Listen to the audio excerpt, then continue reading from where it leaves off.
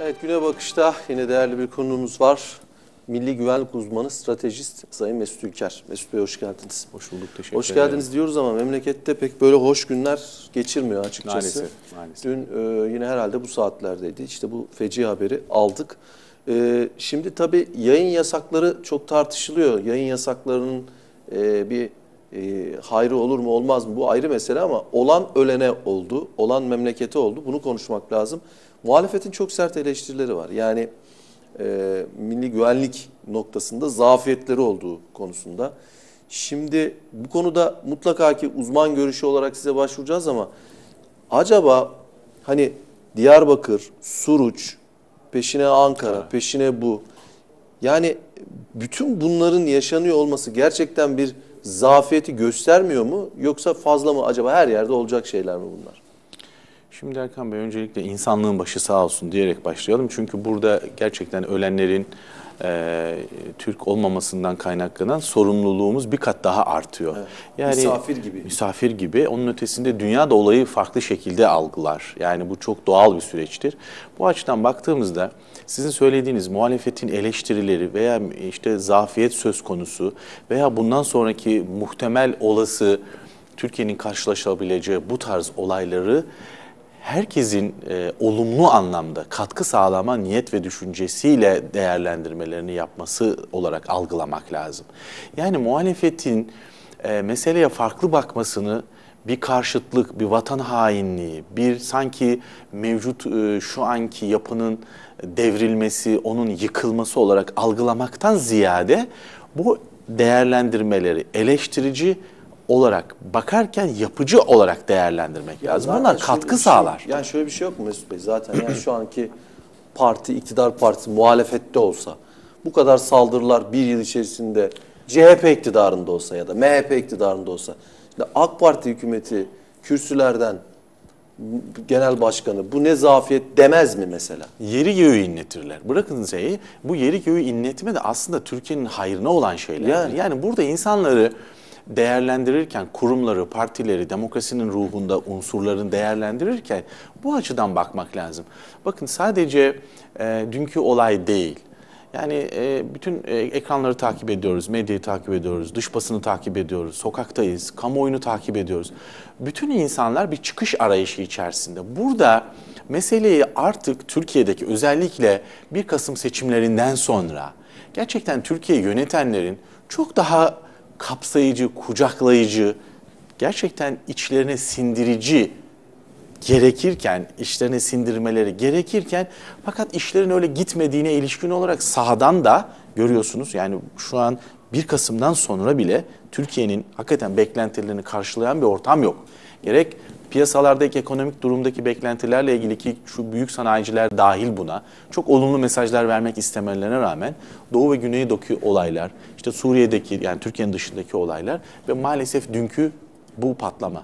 Yani asla haklı çıkmak istemeyiz. Allah korusun ama bu olayların e, devam edeceğine ilişkin emareler çok yüksek.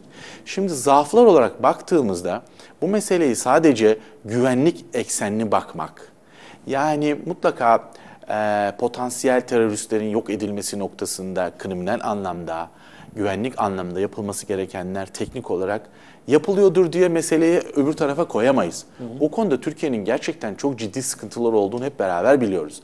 Bakın bu güvenlik meselesi Kanaviçe gibi, e, altın işçiliği gibi bir taraftan siz güven ve huzuru verirken diğer taraftan güvenliği sağlamak zorundasınız. Çünkü Türkiye bu filmi çok seyretti Erkan Bey. Daha önceki dönemlerde güvenlik ve huzur dengesini siz öyle sağlamanız lazım ki buradan hemen aklı şu soru gelmesin. Ya adamlar bombalıyorlar, adamlar şunu yapıyorlar, ellerimizi kollarımızı bağlayacak mıyız? Polis bir şey yapmayacak mı? Asker bir şey yapmayacak mı? Dan ziyade onlar zaten gereğini yapacaklar, yapıyorlar yapma konusunda da gayret gösteriyorlar. Ama onlara bu emirleri, bu direktifleri, bu yönlendirmeleri, bu sorumlulukları veren insanların kendi aralarındaki ilişkilerin bence çok daha kaliteli, çok daha seviyeli olması lazım. Bakın e, Sayın Cumhurbaşkanı'nın dünkü aydınlara yönelik olarak yapmış olduğu hakikaten e, bu değerlendirmenin çok farklı şekillerde algılandığını da yansımalarla hissediyoruz. Yani seviyelerle orantılı, kapsayıcı ve kucakçılıkla orantılı olarak değerlemeler ve ilişkiler kurmak lazım, yapmak lazım. Siz sokaktaki bir vatandaştan beklediklerinizi devletin yetkili ve ilgili yerlerdekilerden farklı bekleme hakkınız var. Vatandaş olarak da buna hakkınız Yani var. siz nasıl değerlendirdiniz o açıklamayı? Yani yansımaları çok farklı oldu. Ben Nasıl? açıklamanın içeriğinden ziyade mesela şimdi e, bilim insanlarının işte e, karanlık olduğu yaklaşımı veya işte bu konuda bir güruh olarak ifade etme. Bunlar tabii e, o kişinin kendi e, bu konudaki değerlendirmesidir. Ama pozisyon olarak bir e, farklı ve bu noktada bilimin dışındaki farklılıkları içselleştirme, farklı düşünceleri de bir değer olarak kabul etmeyi ille deklare etmeyebilirsiniz. Ama bunu e, dışlayıcı bir yaklaşım tarzıyla alakalı olarak farklı bir şekilde değerlendirirseniz bu sefer karşı taraftan da veya farklı taraflardan da farklı değerlendirmeler gelir. Bugünlerde gerçekten birlik ve beraberliğe her zamankinden daha fazla ihtiyaç olan bir süreç yaşıyoruz. Mesele sadece Doğu ve Güneydoğu'daki mesele değil. Bakın Türkiye'nin güneyindeki olaylara baktığımızda Türkiye'nin bu konuda çok ciddi riskler ve tehditler altında olduğumuzu söylememiz lazım. Gerçekten şu an e, başta siz medya olmak üzere ki dünkü e, misafiriniz olan e, bir beyefendinin söylediği gibi iş adamları medya Başta, başta, iş adamları dedi. Başta iş adamları. Neden iş adamları? Çünkü hayatın dinamiğinde esas onlar var. Onlar sahayı çok daha sağlıklı görebiliyorlar. Ve iş dünyasındaki kurallar dünyanın her yerinde geçerli. Dolayısıyla dünyayla uyumlu olmayan, dünyayla bu noktada geçerli olmayan ilişki modellerinin sadece Türkiye'de değil, dünyanın hiçbir yerinde başarı şansı olmaz. Dolayısıyla dünyanın yükselen değerleriyle uyumlu hareket etmek lazım.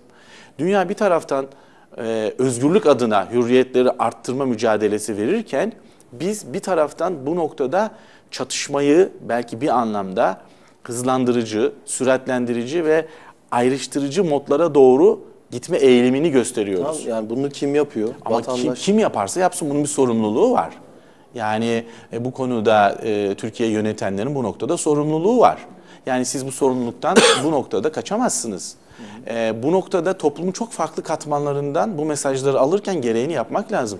Bakın Erkan Bey daha öncesinde de çözüm süreci adı altında, barış kardeşlik, huzur adı altında, ne adı altında olursa olsun Türkiye bir huzur atmosferi yaşadı. Herkesin ağzına bir parmak bal çalındı. Doğru mu? Ne oldu da böyle olduğunu artık herkes soruyor. Yani bu konuda ne oldu da böyle olduğu mutlaka değerlendirmek lazım. Burada klasik ve standart bir modla güvenlikçi algıların çok öne çıktığı bir yaklaşım biçiminden ziyade tabii ki her otoritenin e, tehdidi bertaraf etme, her otoritenin potansiyel gerilimleri azaltma anlamında yapacak çok şeyleri var. Güvenlikçiler, güvenlik bürokrasisi, kriminoloji ve diğer unsurlarla beraber bunları zaten yapıyorlar. Onlar da bu konuda bir e, sıkıntı olduğunu sanmıyorum ben. Nitelik eksikleri olabilir. Türkiye'nin geçirdiği evrelerden dolayı bu bir sürü nitelik kaybedilmiş olabilir ki buna yönelik olarak da burada bahsetmeden geçemeyelim. Yani özellikle emniyet teşkilatı başta olmak üzere kazanılmış olan bazı nitelik ve özelliklerin bir anlamda bertaraf edilmesi, toplumsal olarak bakın Türkiye'nin sosyal sermayesine çok ciddi bir ihtiyaç olduğu bir dönemdeyiz. Yani farklı seslere kulaklarımızı kapatmadan ziyade Erkan Bey, hı hı. kulaklarımızı açma zamanı. Ama sadece kulak açma değil. Şimdi açarak gidelim mi Mesut Bey? Yani şimdi diyorsunuz ki e, birincisi toplumsal sorgulama gerekiyor. Kesinlikle. Şimdi e, 7 Haziran'a kadar e, insanlar hakikaten onu hep Hani ya şöyle, da Güneydoğu'da Erkan şöyle yani, olabilir. Halaylar, yani. düğünler söylemleriyle topluma Aynen, biraz tabii, pozitif tabii, tabii. bir şey geldi. Yani Piknik bu iyi yapılıyor şey. falan denildi. Şöyle belli şeyler bozulabilir. Bunda bir sıkıntı yok. Yani var olan bozulabiliyor. Var olan yok da olabiliyor. Ama hani bir aşaması olur bunun değil mi? Yani kendini belli eder, kendini hissettirir. Hani e, bahar bahardan önce nedir? Mevsimlerin bile ilk bahar yaz, sonbahar kış. Yaz gelmeden ben geliyorum der. Kış da gelmeden sonbaharla bir gel. Yani direkt yazdan e, şey ilkbahardan direkt kışa bir geçiş oldu. İşte, Arada yaz da olmadı yani. Aynen Böyle bir öyle çünkü o zaman onların çok farklı şekilde sorgulanması ortaya çıkıyor dediğiniz gibi. Yani bu konuda açıkçası samimiyet testi yapacak halimiz yok. Hiç kimsenin bu konuda niyet okuma hakkı da yok. Ama dediğiniz gibi sosyolojik olarak çözüm süreci adı altında, adı çok önemli değil. Türkiye'nin yaşadığı barış ve kardeşlik ve huzur at- at- atmosferinin bozulmasına neler sebep olduysa onları çok iyi irdelemek gerekiyor. Sizde var mı cevabı? Yani şimdi bu artık hani Tabii ki vatandaş... var. Tabii ki var. Ben yani de. şimdi ne, nedir mesela? Yani e, işte bir, bir İktidar anda- şehvetiyle alakalı olarak bazı temel doğrulardan vazgeçilmesi. İktidar şehveti dediğimiz şehvet bu konuda gerçekten Türkiye'nin aydınlık geleceğini e, karartır hale geldi. Ne demek bu Erkan Bey? Bakın daha öncesinde hep söylüyorduk. Yani Türkiye uzun yıllar işte yedi tarafı düşmanlarla çevrili, dört tarafı denizlerle çevrili bir ülke olarak hep o ninni ve teranelerle büyütülmüşken Türkiye bir anda kendiyle tanıştı, özüyle tanıştı. Kendisine vesayet, vesayet, vesayet dediğimiz o unsurlardan sıyrılma konusunda çok ciddi bir destek gösterirken e, şu an bakıyoruz hakikaten Türkiye'nin artık komşularıyla alakalı olarak hiç dostunun ötesinde ilişki kuramayacak bir noktadayız. noktadayız. Ha bunun sade mesele ilişki değil. Bakın ekonomik olarak tüccar, sanayici, yatırımcı, girişimci malını satamıyor. Yani bu işler çok birbirleriyle iç içe olan eklemlenmiş konulardır. Bakın demokrasi adına, özgürlük adına Türkiye bu noktada çok sıkıntılı bir süreçte. Hayır efendim yok öyle bir şey yok. Aynı bu temelin hikayesine benzer. Dünya istatistikleri, dünya göstergeleri, dünyadaki değerleme ve ölçümleri standartları ortada. Yani Ekonomi Bakanı yıllık milli geliri 722 milyar dolara 800'lerden düştüğünü, 100 milyar dolarlık fark olduğunu söyledi. Biz söylemedik. Ekonomi Bakanı söyledi. E buradaki açığın açığın çok önemli bir kısmı da dış ticaret. Hep ivme ve trend, ivme ve trend aşağı doğru gittikten sonra bunun hızlanma ihtimaliyle beraber bunu tekrar pozitife çıkartmak kolay değil. Evet. Yani Bakan orta gelir söyleyince e, sıkıntı yok mesela. Mesut Ülker söylerse bir ihanet var galiba. Öyle bir Yani o bakın böyle bir bu- anlayış var işte. işte bu anlayıştan bizim bu girdaptan bir an önce sıyrılmamız Yok, lazım. Yani sıyrılmamız lazım da işte bir de az önce de mesela şey söylediniz. Nitelikli e, milli güvenlik uzmanı olarak soralım. yani emni, nitelikçi emniyetçilerin görevlerinden alınması. Şimdi bunu konuşunca hemen sizi belli bir yere yaftalıyorlar. Ama bu ülkenin e, herhangi bir vatandaşının da bunu sorgulama hakkı var. Bir yere aidiyeti olması gerekmiyor. Yani işte gördük e, Tahir Elçi meselesinde 3 metreden teröristi vuramayan polisler var. Erkan Bey, Tahir Elçi meselesinde kim vurdu? Hala o yok bilinmiyor. Hani nerede faili meçhullerin hepsini aydınlatacaktık? Ay, Tabii ki aydınlatmayı isteriz. Ondan sonra oradaki insanın siz güvenini kazanma konusunda daha fazla gayret göstermeniz lazım.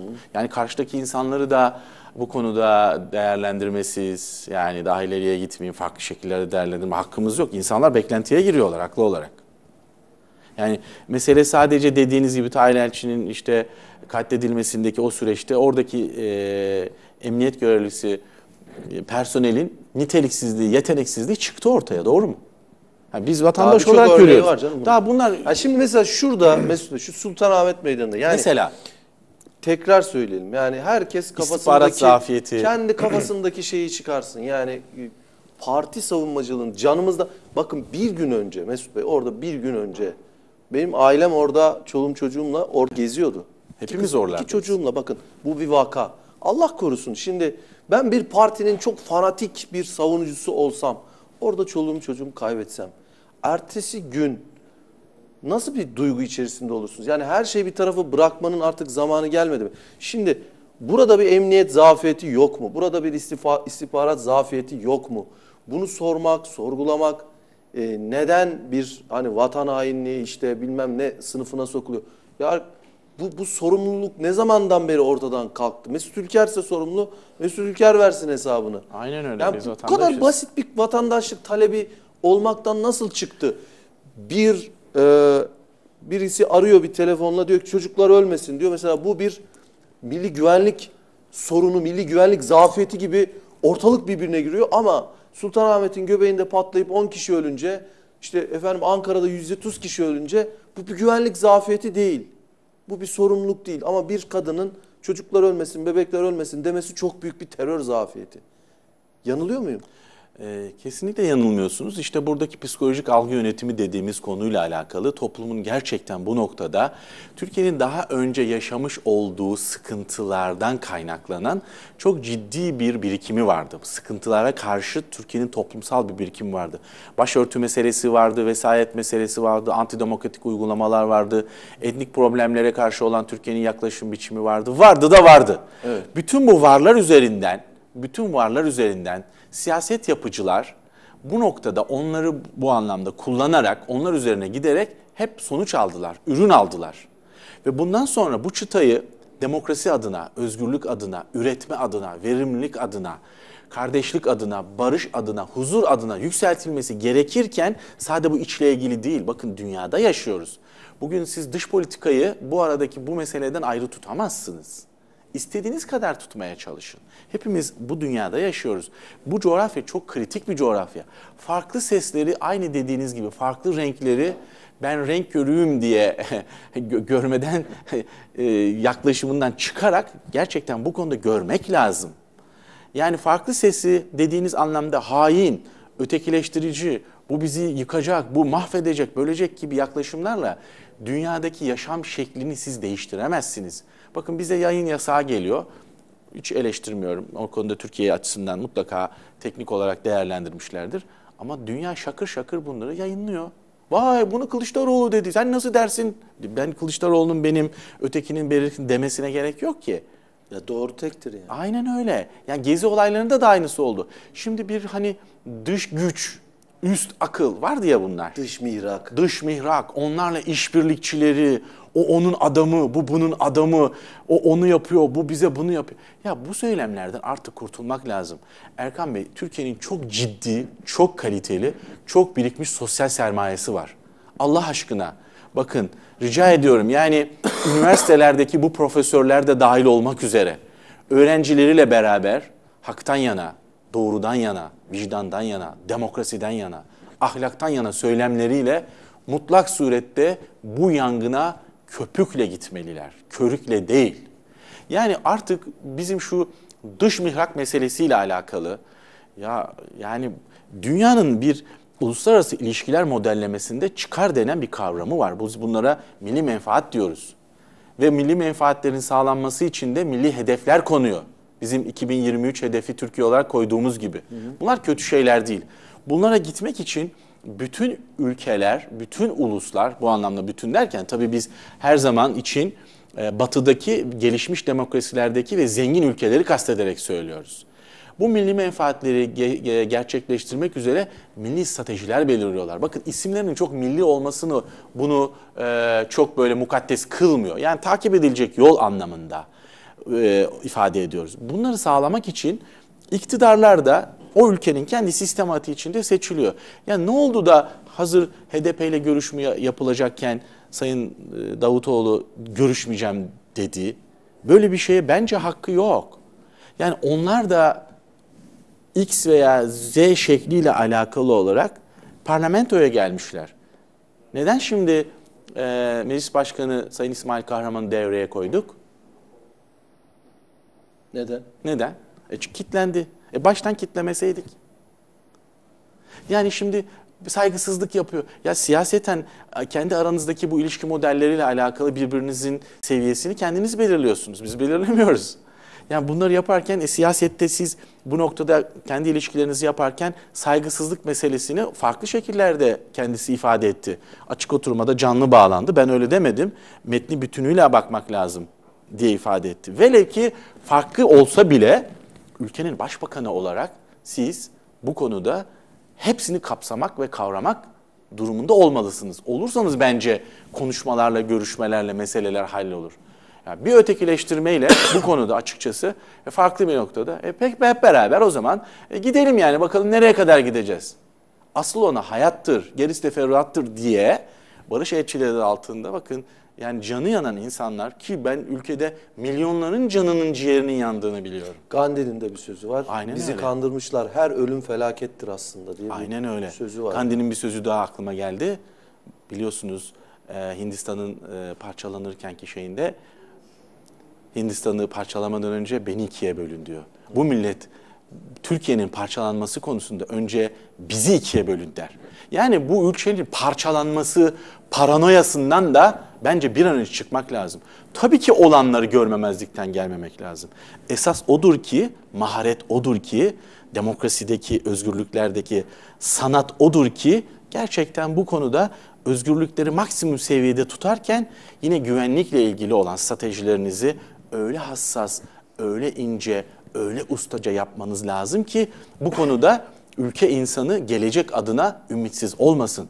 Erkan Bey kime sorsanız şu an ciddi bir karamsarlık ve kaotik var. Hiç kimse felaket tellallığı yapmaz. Gitmek isteyen çok önemli bir Çok. kesim var. İnanın çok. Bakın Ve bir mahalledeki olan- mahalledeki fotoğrafçıya sordum Erkan Bey. Fotoğraf çektirmeye gitmiştim.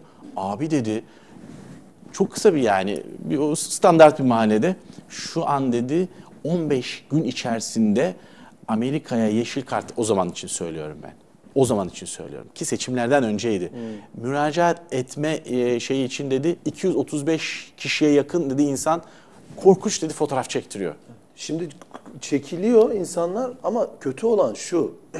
Birincisi buna bunu böyle bir şeyin içerisine girmek, böyle bir ruh halinin içerisine girmek insanların ülkesinden gitme isteği, arzusu.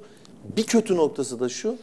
Bu talepte bulunanlara bir grubun defolun gidin vatan hainleri işte Ya bunlar bakın şeklinde. e, Daha kötü olanı bu. Tabii tabii esas Daha sıkıntı kötü burada zaten. bu, yani. Yoksa insanlar tanıştıkça, kaynaştıkça, paylaştıkça, konuştukça insanlar konuşa konuşa anlaşır. Karşılaşa karşılaşa birbirlerini severler. Sevgi ve muhabbetin, kardeşliğin, huzurun olmadığı yerden ürün çıkmaz ki. Yani biz ne kadar birbirimize karşı bu arada e, ötekileşerek, birbirimize vuruşarak bu meseleleri çözeceğiz. Yani hendeklere gömeceğiz. Ya Tamam göm.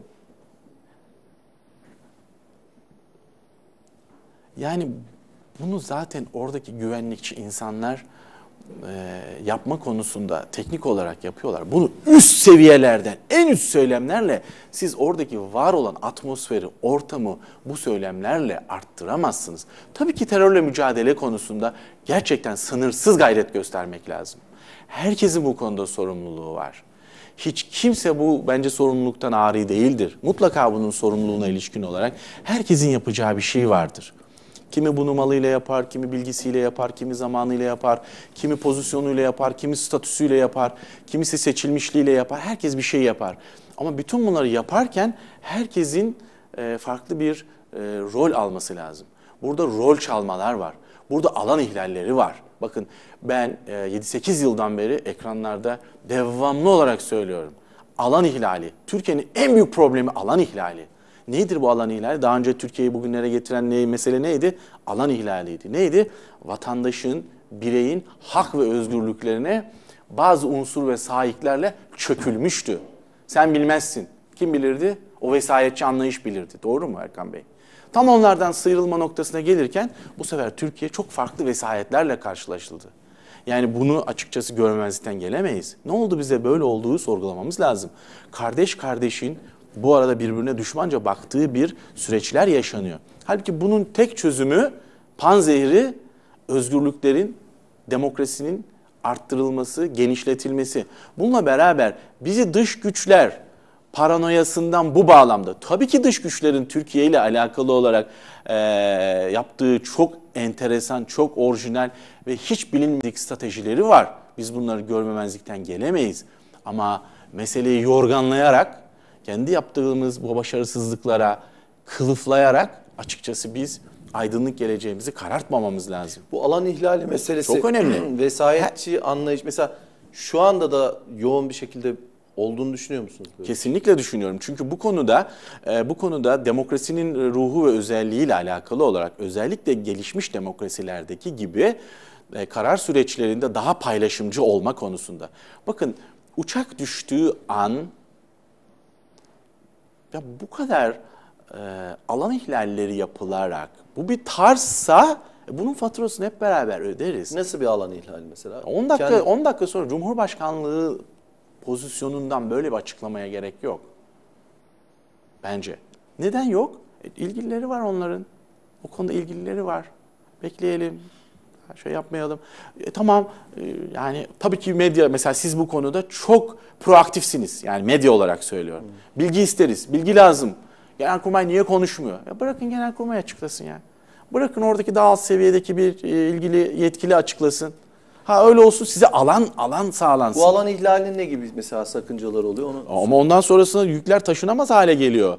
Yani bir ülkenin bu noktadaki en başındaki bir iradenin e, bu noktadaki kararı, sözü, söylemi, duruşu genele teşmil ediliyor ki bu doğaldır. Yani eşyanın tabiatı da böyledir, yönetsel olarak böyledir. sonra bir an fikir değiştirince o, O, güruh zaman fikir güven kayboluyor. Biz böyle bir şey istemeyiz.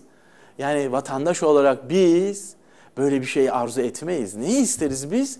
Bizim alanımız öyle geniş olsun ki bizim e, bu noktadaki e, karar vericilerimiz yani çok esneyebilsinler, çok rahat hareket edebilsinler. Konjüktürel gelişmelerle uyumlu olarak bu konuda Türkiye'nin milli menfaatleri noktasında daha rahat hareket edebilsinler. Asla onların da bu noktadaki art niyetleriyle alakalı bir niyet sorgulaması ne bizim haddimize ne hakkımıza. Ama fiili olarak bak o zaman kendi alanlarınızı kendiniz daraltıyorsunuz. Ne oldu? Önce kimliği belirsizdi, sonra belirli oldu. Ne oldu? Yani ya- yazık günah bunlara. Böyle bu da çok yaşanıyor bu. Çok yaşanıyor. Ya bunlara gerek yok. Yani Türkiye Cumhuriyeti devleti bakın devlet meselesinde böyle devlet böyle devlet böyle devlet şöyle Kutsamak. Ya bu, bu, bu bir kere özgürlükleri daraltan bir alan. Yeni anayasa çalışmalarına girmek istiyoruz Erkan Bey. Yıllarca dilimizde tüy bitti, kalemimizde mürekkep bitti yeni anayasa. E bu şartlarda nasıl yapacağız? Bir kere güven bunalımı yaşıyoruz biz. Memlekette güven darbesi olmuş. Yani bu konuda açıkçası Beşiktaş Çarşı grubu yargılandılar, beraat ettiler, temize gidiyorlarmış tekrar ama ya güven çok önemli bir sermayedir. E şimdi toplum birbirine güvenmediği zaman biz nasıl anayasa yapacağız? Nasıl konsensüs sağlayacağız? Nasıl gideceğiz? Ben yaptım oldularla olmaz. Ama Türkiye artık 80 milyon sade Türkiye'de yaşayanlar. Ya bir de bunun kültür hinterlandına bakın, etki alanına bakın. Hayır demiyor muyduk yani Orta Doğu'dan hep bize bakıyorlar? Demiyor muyduk Balkanlardan bize bakıyorlar? E şimdi nereye bakacaklar? Nereye bakacaklar? Yani burada bize bakan insanların da insanlık adına burada asla bir karamsar bir tablo çizmek için söylemiyorum bunları. Ama bizim özümüzde olan, bizim niteliklerimizde olan bu güzel davranış modellerimizi kendi şahsi çıkar ve istikbal beklentilerimiz, siyasi bu noktadaki bekamız anlamında temel doğrulardan asla ve asla ayrılmamamız lazım. Söylemlere gelince mangalda kül bırakmıyoruz. Ama eylem esastır. İnsanlar buna güvenmesi lazım. Ama eskiden de o böyle oluyordu. Ya güzel kardeşim, eskiden olmaması için gayret gösteriyor herkes. Eskiden oluyordu, yanlış oluyordu, doğru olmuyordu. Bize yakışmıyordu. Bize böyle bir anayasa yine yakışmıyor. Ama şimdi bakıyoruz ki ya bu anayasayı hangi anlayışla biz biraz daha düzelteceğiz? Şimdi bir başkanlık sistemi tartışmasına doğru Türkiye çekilmek isteniyor. Ya kasap et derdinde, koyun can derdinde. Ya biz mevcutları açıkçası bu anlamda rehabilite ettik mi? Düzelttik mi? Tabii ki ihtiyaç varsa baş tacı. Tabii ki olsun. Yani bu anayasada, anayasal bir sistemde, demokratik parlamenter bir sistemde adı ne olursa olsun Türkiye Cumhuriyeti vatandaşlarının hepimiz için lehimize ne olacaksa o olmalı. Bu da belli artık.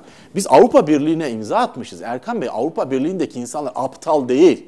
Hani ne olacak şimdi biz Ekim'de vizelerle ilgili? Almanya boş duracağını mı zannediyorsunuz? Almanya'daki ırkçı faşistlerin bu Allah korusun. Yani bu olaylar sonrasında rahat duracağını mı zannediyorsunuz? Acayip derecede malzeme veriyoruz. Tabii ki biz yapmıyoruz onu.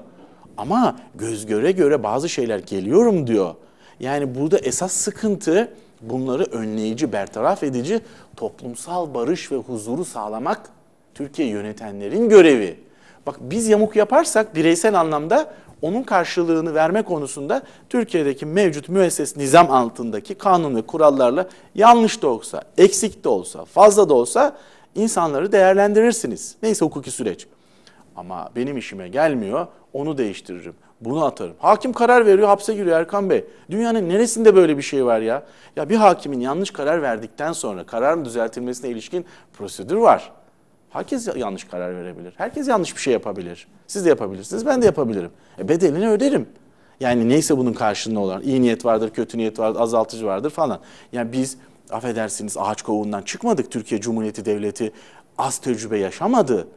Buraya gelirken bu safahat içerisinde gerçekten yurdum insanlarının, bu coğrafyanın bakın Çanakkale'de yani söylemlere gelince dilimizde düşürmüyoruz. Çanakkale'de beraberdik, dedelerimiz beraberdi, atalarımız beraberdi. Yarın yine beraber oluruz diyoruz. E bugün Doğu ve Güneydoğu'da e onun akrabaları onlar Erkan Bey.